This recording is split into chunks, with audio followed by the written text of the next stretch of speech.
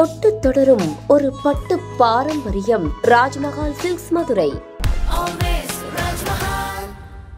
தமிழகத்தின் அண்டை மாநிலமான புதுச்சேரியில் கடல் நீர் மீண்டும் நிறமாறியுள்ளது. புதுச்சேரியில் அடிக்கடி செந்நிறத்தில் மாறும் கடல் பகுதியை சுற்றுலா பயணிகள் ஆச்சரியத்துடன் பார்வையிட்டு வருகின்றனர். புதுச்சேரியில் கடந்த வாரம் தலைமைச் செயலகம் எதிரில் இருந்த கடல் செந்நிறமாக காட்சியளித்தது.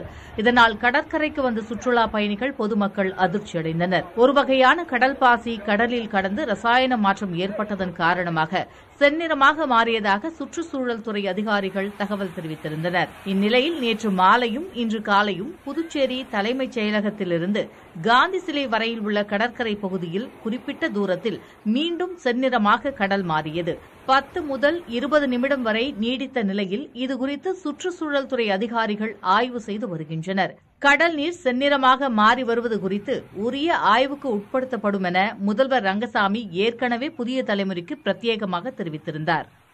தொட்டு தொடரும் ஒரு பட்டு பாரம்பரியம் ராஜ்மஹால் சில்க்ஸ் மதுரை.